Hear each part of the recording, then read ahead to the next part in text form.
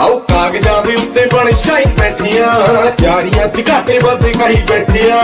ਕਈਆਂ ਦੇ ਘਰਾਂ ਦੀ ਛੱਤ ਪੱਕੀ ਕਰਕੇ ਸਾਡੇ ਵਾਲੀ ਚੁੰਦੀਆਂ ਪਲਾਈ ਬੈਠੀਆਂ। ਸਾਡੀਆਂ ਤਜੋਰੀਆਂ ਨੇ ਸਾਂਝੀਆਂ ਕੁੜੇ ਨਹੀਂ ਬੰਦ ਹੁੰਦੀਆਂ ਨਹੀਂ ਨਕਸਾਨਾ ਕਰਕੇ। ਕੱਚਿਆਂ ਮਕਾਨਾਂ ਵਾਲੀ ਆ ਜੱਟ ਦੇ ਨਾਲ ਪੱਕੀਆਂ ਜ਼ੁਬਾਨਾਂ ਕਰਕੇ। ਕੱਚਿਆਂ ਮਕਾਨਾਂ ਵਾਲੀ ਆ ਜੱਟ ਦੇ ਨਾਲ ਪੱਕੀਆਂ ਜ਼ੁਬਾਨਾਂ ਕਰਕੇ।